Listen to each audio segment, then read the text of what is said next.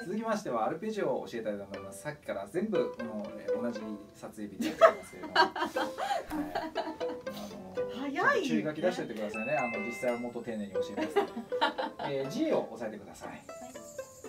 はい、アルペジオというものをやるっていう時に、まあ、いわゆるアルペジオって分散和音なのでバイオリンの世界だとこんな風にやってると思います。まあ間違えた。ねであのギターの世界ではあらかじめコードを押さえて右手だけで分散させるっていう形でしかも135135って守ってないです。例えば、ね、これだったらまあこのソからレに行くんですね。いきなりオクターブ上。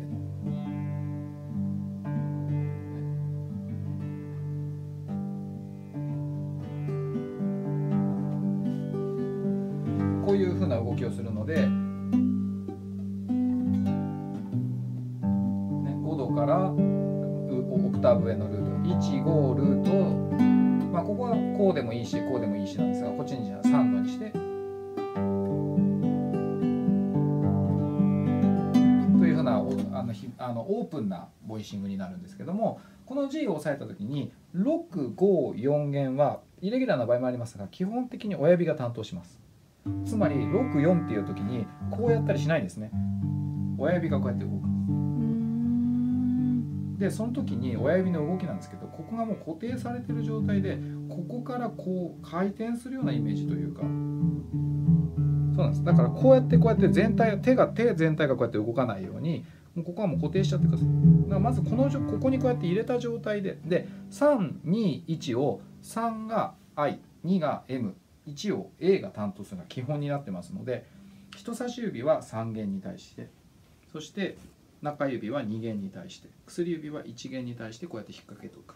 この引っ掛けた状態で6464をこうはあのなんていうの反復横跳びじゃないですけどこれがね慣れるように。で慣れてきたらこう上見てこう目つぶったりとかしながらそうですそうです。これができるようないいのはとっても上手ですね。慣れてきたら64546454おいいですね。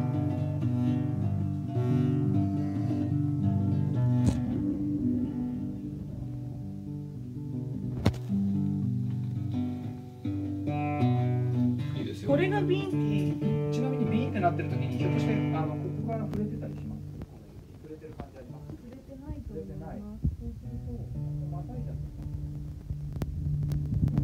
はい、とってもできるバイオリンでラグタイムラグのバッキング練習したのがここで役に立ってる 素晴らしい。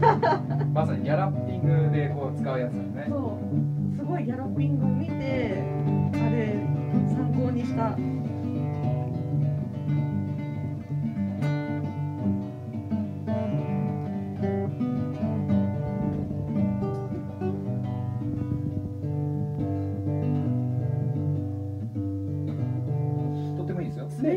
っちゃったりしてるまあ、爪のね実はあの爪の世界もまたいろいろあって削り方だったりとか伸ばし方だったりとかそういうのもあるので、まあ、爪が暴れちゃうっていうのもだある程度仕方ないと思うんででも横から弾くんだ、はい、横側です。必ず親指はここの肉の部分、横の肉の部分で弾いてるイメージですね。ちょっと斜めにこう当ててるような4、30度ぐらいかな、角度的に。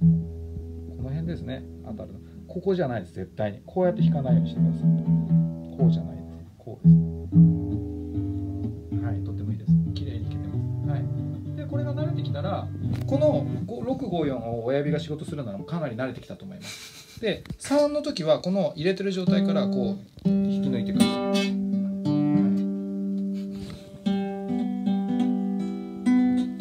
そうですねで6、4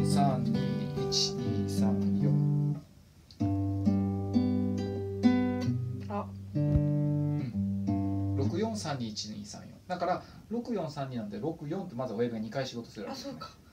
6432123それで8分でって感じですね。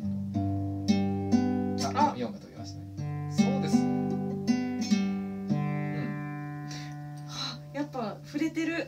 触れてますよね。お肉が触れている、でお肉触れるなと思ったら少しこっちに手首がちょっと辛くなりますけれども前にちょっと押し出してください。あんまり手首に負担かけない程度にやってください。ぐー。ってやりすぎないで。力入れずに。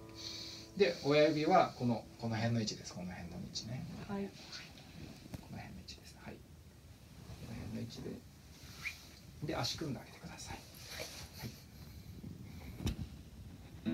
あ。今 D を押さえようとしてましたね君。おいいじゃないですか今。あこっち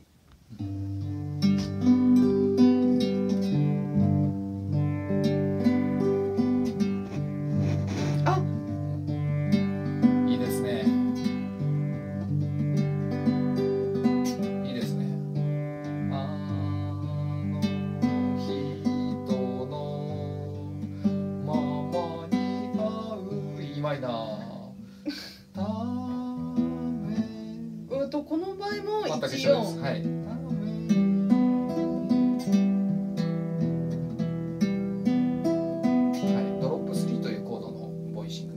大丈夫です。でもう一回 G にします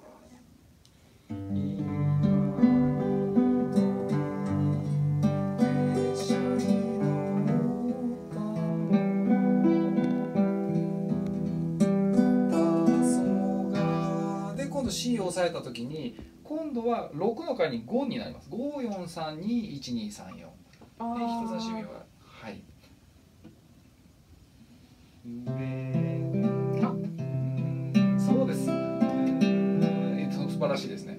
で今度 D は4弦からなのでリズム的に432123だと足りなくなっちゃう。なので適当に あのダブらせたり割り振ったりします。なので今回は4321運232運232素晴らしい。おーい。そして G ですね。6あ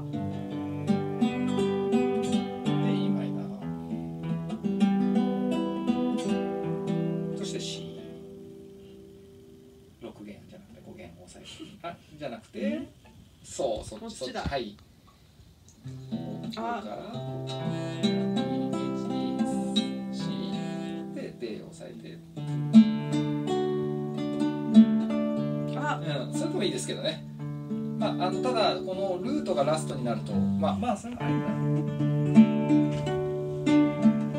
だはいいいですね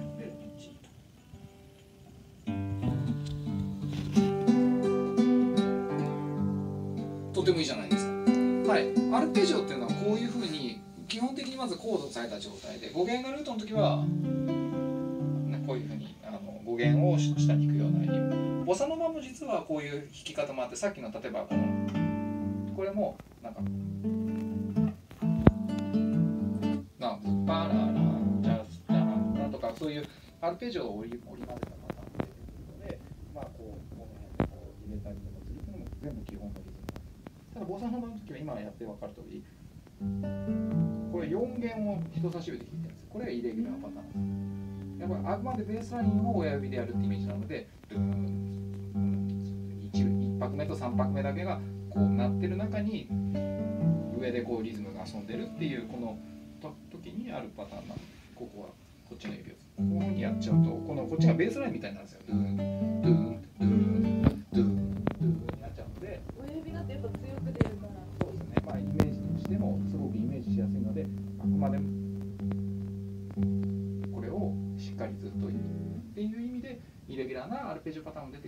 基本的には6弦5弦4弦っていうのが親指ですよ。で3弦2弦1弦がそれぞれの指が担当しましょうと。いう形になってくる。はい、というわけでもうアルペジオもできるようになった。ストロークもできてアルペジオもできてボサンバもできるようになったので、えーいよいよ次はウォーキングベースとかになってくるのかなっていう。はい。次回に行きたい。あの次回はですねあの単音を演奏するというあの スケール演奏とかに向かっていきたいと思いますのでよろしくお願いいたします。これは初心者向け講座な の断じて初心者向け講座ではないので彼女がプロバイオリニストとしてやっていてこの YouTube の企画をやるということなので、まあ、特別なスピードでやってますけれどもあの皆さんご安心ください。この人はちょっと半分はねその音楽やってる人だからちょっとチート感があるのでどんどんいきますよ。はい、はい。じゃあ。りがとうございました、はい。すごい。超楽しいギター